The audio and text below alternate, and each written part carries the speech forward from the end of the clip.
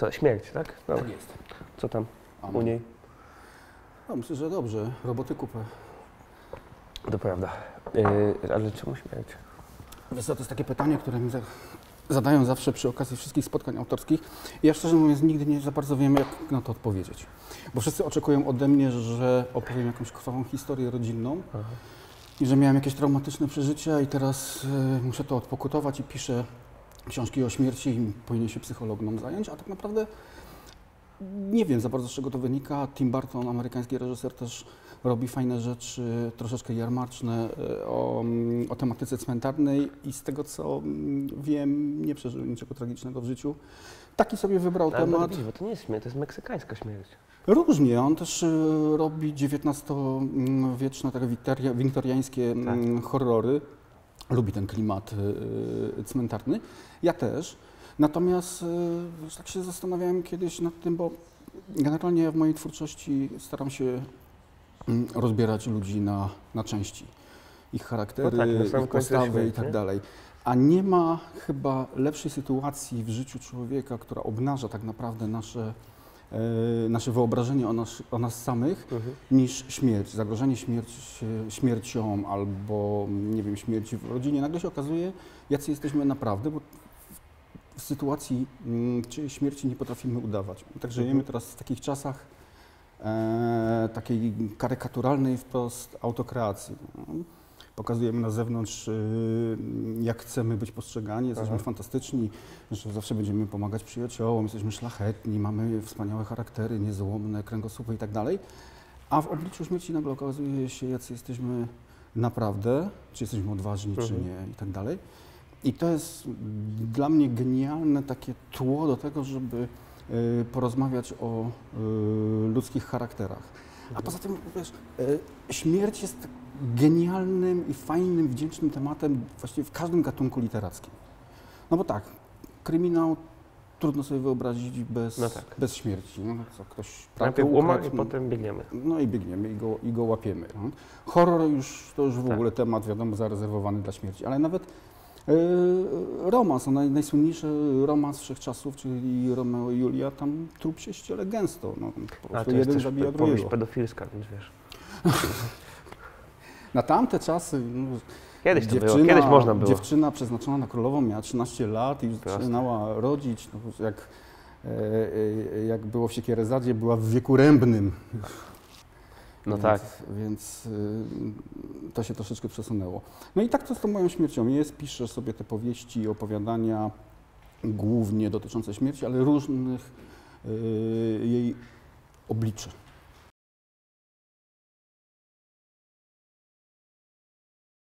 Czyli, czyli jako taki y, nie tylko wielki ekwalizator, ale także y, wielki demaskator, tak? Oczywiście, jak najbardziej.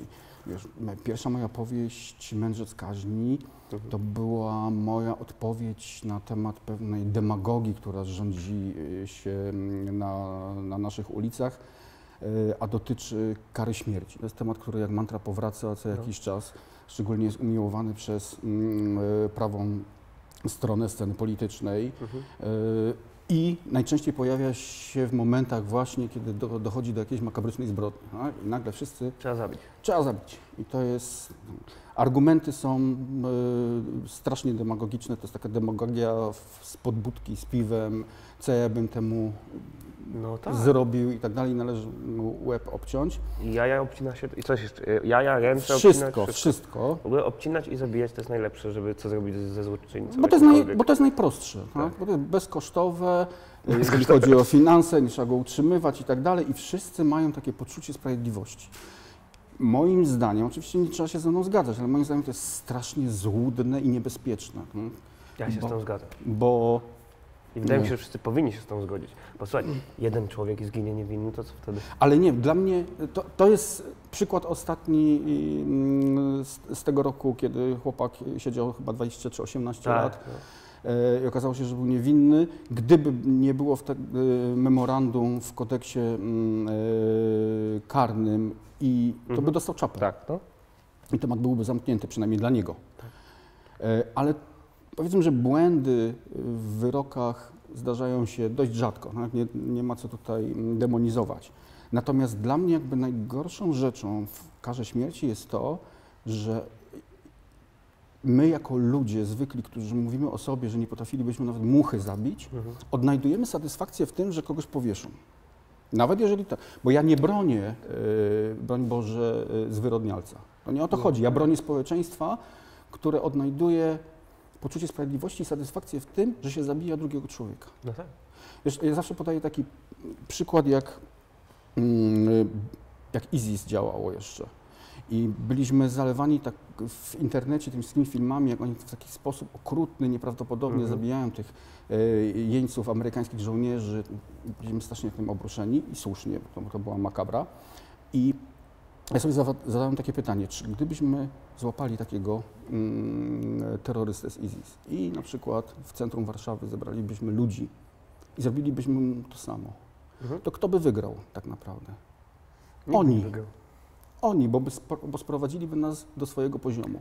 No, Do no, ludzi, którzy... Znaczy tak, no powiem jest no chyba, że wiesz, jakby argumentujesz, że chodziłoby o terror, to tak, ale mi się wydaje, że wszyscy by przegrali wtedy tak naprawdę.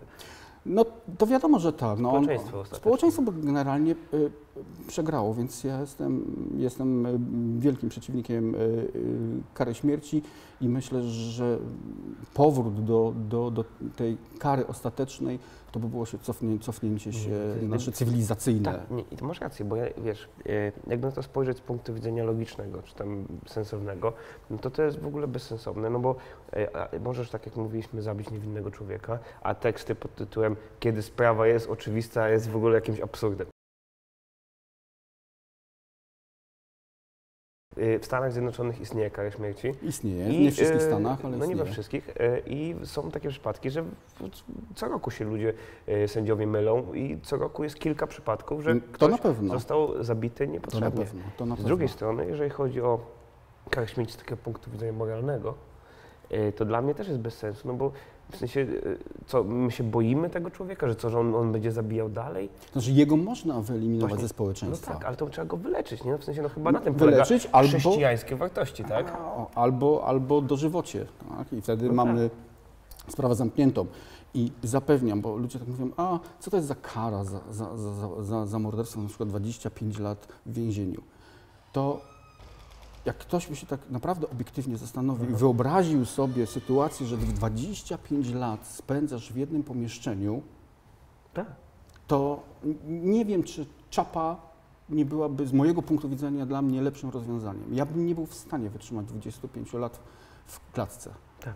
I, I wychodząc tylko na spacerniak, więc y, y, mówienie o tym, że to jest kara niewspółmierna, a poza tym, tak jak mówię, no, to nie jest rozwiązanie, to jest, to jest rodzaj rytuału. Zresztą kara śmierci przez wiele, wiele wieków, właściwie do wieku XIX była rytuałem publicznym. Ludzie przychodzili, żeby sobie zobaczyć e, na przykład e, ścięcie gilotyną. We Francji Mhm. chyba w XIX wieku zakazano publicznej egzekucji e, w momencie, kiedy prasa ówczesna zbierała się na dechach, robiła zdjęcia. E, Z tego to było widowisko jarmarczne. No to jakby urągało w ogóle istocie e, życia, śmierci i, i, i kary. E, Ci ludzie, którzy tam przychodzili, z jednej strony oczywiście chcieli zobaczyć, że kogoś e, Mhm. e, dotknęła sprawiedliwa kara, a z drugiej strony chcieli nasycić swoje takie naj, najniższy instynkt. No, Coś takiego, jak się teraz dzieje na, na autostradach, kiedy dochodzi do makabrycznego wypadku i wszyscy się zatrzymują, a jeszcze do tego robią zdjęcia, tak? Bo muszą zobaczyć, jak ta tak ręka jest Tak urwana. jak George Carlin mówił, y, panie policjancie, czy mógłby pan tę głowę trochę bliżej Tak, nas, bo tak, tak. y, moja żona nigdy nie widziała tylko pan. No więc właśnie, no, no, to, to należy się zastanowić nad nami, tak, że coś, coś jest nie w porządku. Ale właśnie widzisz, może to jakby odwrócić tę sytuację, może oni są tak samo jak zafascynowani śmiercią jak ty, tylko trochę bardziej poważnie traktują swoje hobby. Być może, ale to niech idą sobie zobaczyć e, film, tak, albo przeczytają książkę, a nie oglądają, nie, nie sycą się na czyjejś tragedii. Albo tę wystawę y, Bodies chyba się nazywa. No tutaj to jest kwestia dyskusyjna. Dla mnie, ja nie widzę w tym nic nadzwyczajnego. Ja to bardziej patrzę na to z punktu widzenia nauki, Mhm. czyli preparaty, gdzie y, człowiek, który tam przychodzi, troszkę dla sensacji, na pewno, no, Mhm. to jest jakieś, zobaczyć sobie, chociaż to ze zwłokami to już tak naprawdę niewiele ma wspólnego, bo to jest bardziej forma już Tak. wypełniona y, tworzywem. I jeżeli ktoś jest, jest człowiek inteligentny, to skorzysta na tym, czyli zobaczy sobie, jak to wygląda w środku, mm, się czegoś nauczy albo sobie coś przypomni i, z lekcji. Dyskusyjna jest kwestia doboru, tam były jakieś plotki, że, że to byli więźniowie, na przykład Mhm. z Chin, coś takiego. Jeżeli tak było, no to faktycznie z punktu widzenia etyki jest to słabe. Natomiast samo pokazywanie ciała ludzkiego w ten sposób, nie widzę w tym nic nadzwyczajnego. Mhm. Czyli, czyli nie ruszacie. Nie, kompletnie. Ale słuchaj, to może wróćmy do tych, y, do masek, bo to, to mnie zaciekawiło, co, co miałeś na myśli przez to. Mhm. Dlaczego tyle jest tych masek, o co chodzi? Czy kiedyś nie było? Było, było, tylko nie wszyscy docierali tak do, tak, tak, nie, nie było tak po, możliwości powszechnego dotarcia do wszystkich, nawet obcych nam ludzi, jak, jak, jak teraz. Mhm. I teraz faktycznie tworzymy tą, tą e, kreujemy swoją, swoją postać i sprzedajemy ją na zewnątrz zupełnie albo w części, albo w całości nieprawdziwą kompletnie. Nie ma ludzi nieszczęśliwych e, w, w internecie. Czyli jest tak samo, tylko większy megafon, W- tak? Oczywiście, że tak i to nakręca ludzi, no, zdecydowanie.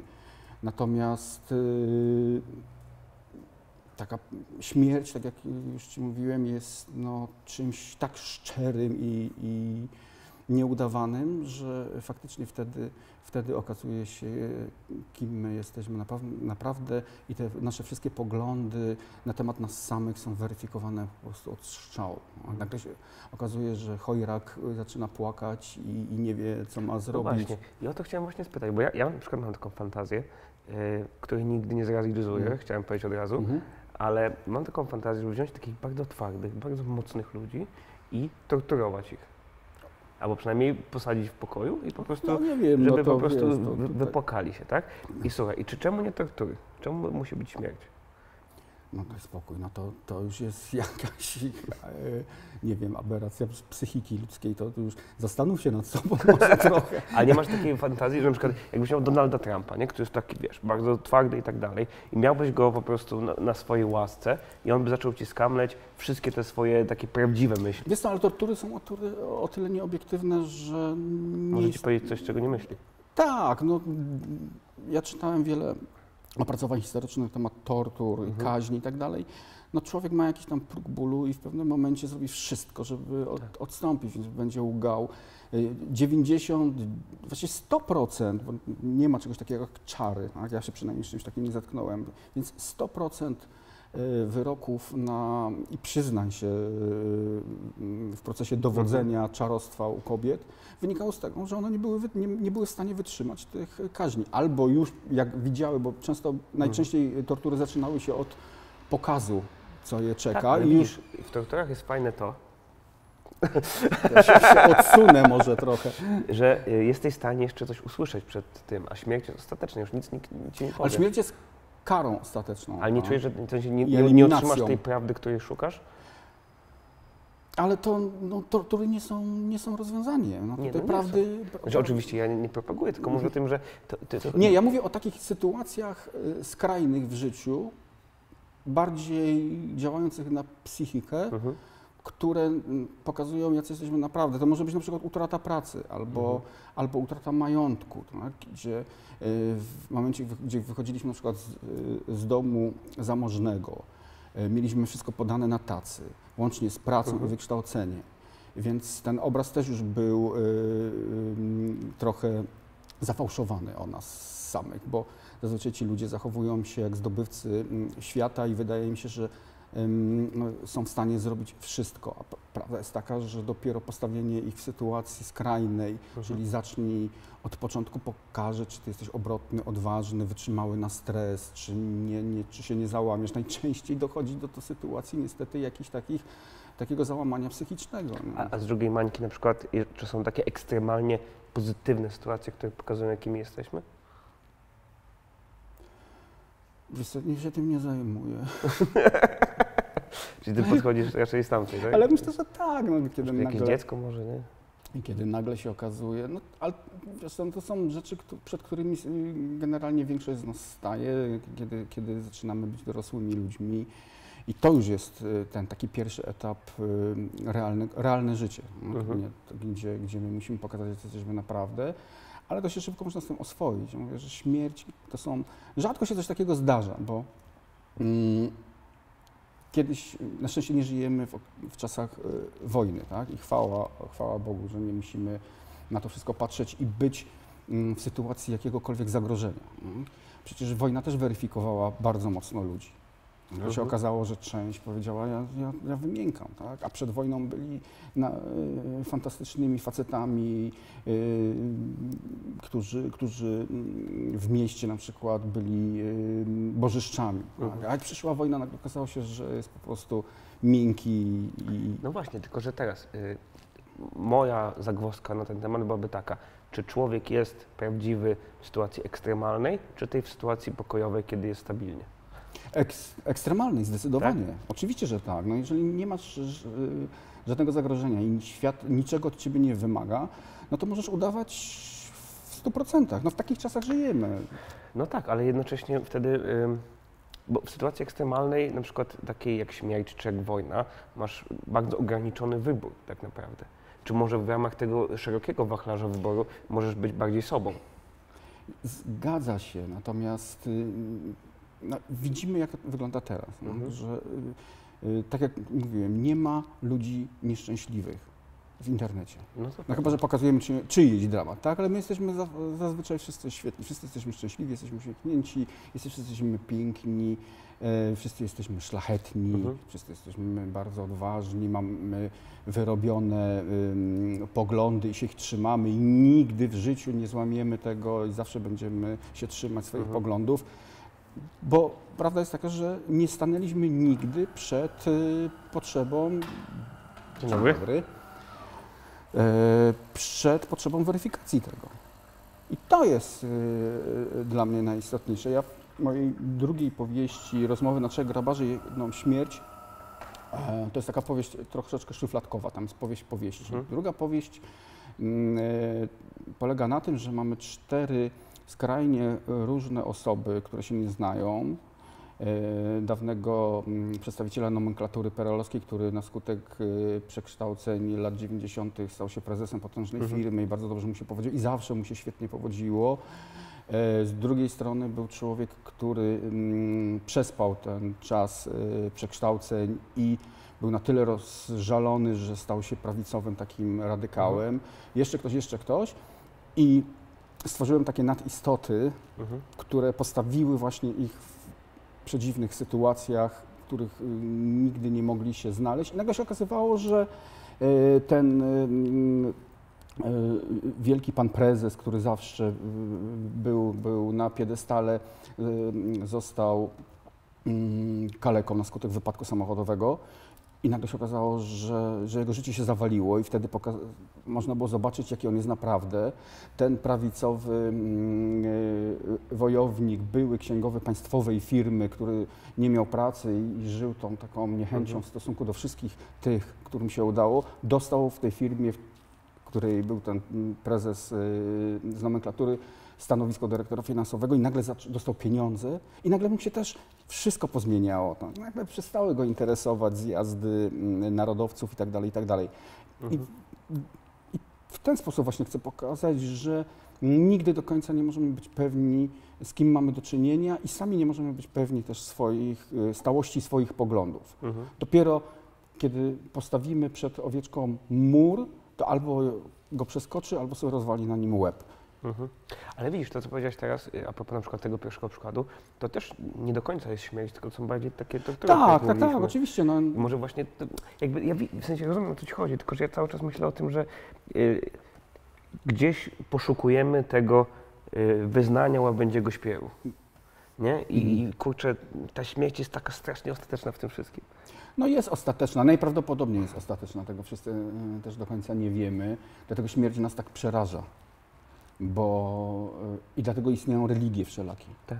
Bo fundamentem każdej religii jest brak wiedzy człowieka na temat naszej kontynuacji lub braku kontynuacji po śmierci. Mhm. Więc jak tutaj sobie sequel. siedzimy na kanapie, możemy sobie wymyśleć w zasadzie na poczekaniu, jak wyobrażamy sobie, co będzie po śmierci i to będzie tak samo sprawdzalne Mhm. procentowo, jak y, mm, wizja nieba z, y, biblijna czy koraniczna i tak dalej. tak? Bo nikt nie wrócił z zaświatów i nie powiedział nam, jak tam jest lub czego tam nie ma. No chodzą słuchy, że jeden, jednemu się udało, ale nie, No nie wiem, nie, spotka, nie, nie spotkałem, więc to jest, yy, dlatego się tak bardzo tej śmierci boimy. A poza tym, co ciekawe, e, niektóre środowiska, wiemy jakie, mówią o tym, że my żyjemy w cywilizacji śmierci, z czym się nie zgadzam, bo my tak naprawdę żyjemy w cywilizacji życia. Na czym to polega?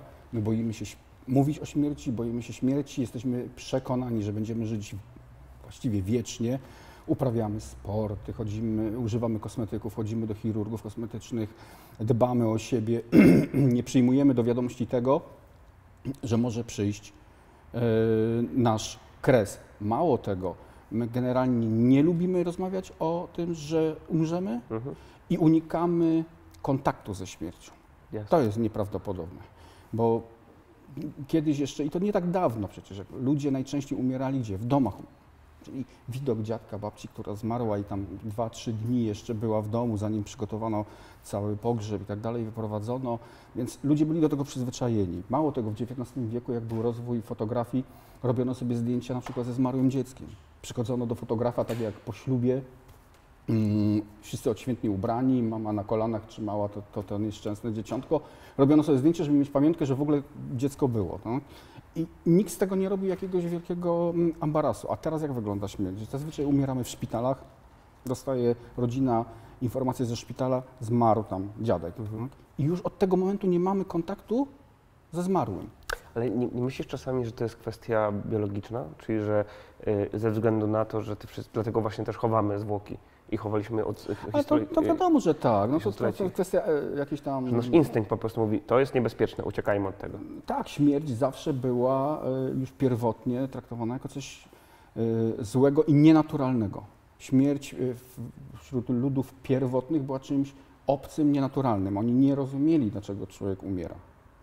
Z czasem myśmy wiedzieli o tym, że przychodzi taki kres, bo się, nasz metabolizm jest Mhm. ustawiony na powiedzmy to 100 lat i, i, i, trzeba, i trzeba umrzeć, ale dalej traktowali ludzie śmierć i traktują jako coś niedobrego. I bez względu na to, czy jesteśmy głęboko wierzący, czy nie, czy uważamy, że na pewno coś nas czeka po śmierci, jesteśmy prawie o tym przekonani, to nie widziałem y, nieprzestraszonego chrześcijanina, który powinien Mhm. mówić, nie, no spokojnie, przecież co ta śmierć, to Zajebiście będzie. Naj, czeka mnie największa biba we wszechświecie, zaraz się otworzą drzwi i tak dalej. Nikt tego nie jest pewien, nawet osoba najbardziej prawda. Ale tutaj powracamy do wątku meksykańskiego, bo oni tę śmierć kultywują. Tak, e, Dzień Zmarłych w Meksyku to jest, to jest dopiero impreza. Mam zamiar się kiedyś e, wybrać i na placu Zawodowo. w Meksyku, przejść się i zobaczyć to wszystko. E, To jest to połączenie oczywiście mm, tych korzeni indyjskich e, z kulturą chrześcijańską. Zresztą nasza kultura też y, y, zapożycza od y, pogan i, i wcze, wczesno mm, słowiańskich y, wierzeń bardzo mnóstwo, od dat po, po, po, po, po choćby świeczki na, na, na grobach, Mhm. Które palimy. Zresztą nasze mm, święto wszystkich zmarłych jest też mm, w porównaniu na przykład do celebracji tego święta w Europie Zachodniej bardzo ciekawe i takie uroczyste. Tam na zachodzie Aha, tego się tak nie no obchodzi. tak. U nas się to jednak Ale nie jest wesołe na pewno. Wiesz co, czy nie jest wesoło, jak się rodzina pokłóci nad grobem, jest bardzo wesoło. Natomiast ludzie, ludzie generalnie wychodzą z domu, spotykają się, czasami rodziny się spotykają po roku, bo się, bo się nie widują e, wcześniej. Jeżeli to jest e, pierwsze na przykład pokolenie po śmierci kogoś bliskiego, no to jeszcze wspominają go i tak dalej. Jeżeli to już jest tam drugie, trzecie, dziadkowie i tak dalej, to przychodzi się raczej z obowiązku i tradycji, żeby, żeby zapalić świeczkę, ale ja bardzo lubię to. No, może jest jakiś to rodzaj dewiacji, ale bardzo lubię święto wszystkich zmarłych i nie mogę się doczekać. I wszystkich zmarłych i Halloween, które jest dzień przed. Więc jak znowu usłyszę argument, że lepiej iść zapalić świeczkę babci niż y, dłubać w dyni, to uduszę. No tak, no wiesz, teraz, ale teraz się chodzi też popularnie na grobing. To znaczy? No, że idziesz na grob, nie? I robisz fotę na Insta, jesteś na grobingu. ja- Maria, no, ile ja już mam, ile mam zdjęć na cmentarzu? I nie tylko, i w prosektoriach i tak dalej, no ale to może dlatego, że się tym ym, fascynuję. Jest duża przepaść między brakiem szacunku do, do osoby zmarłej, a a robieniem sobie zdjęć na cmentarzu, także też nie demonizujmy tego aż, aż tak strasznie. Nie, nie wieszajmy psów na e, artystkach, które sobie robią zdjęcie na grobach swoich rodziców. No, Boże, to jest tylko grób. To jest tylko grób i to jest tylko płyta. Dobra, no to co? To idziemy na cmentarz. Idziemy na cmentarz, tak jest.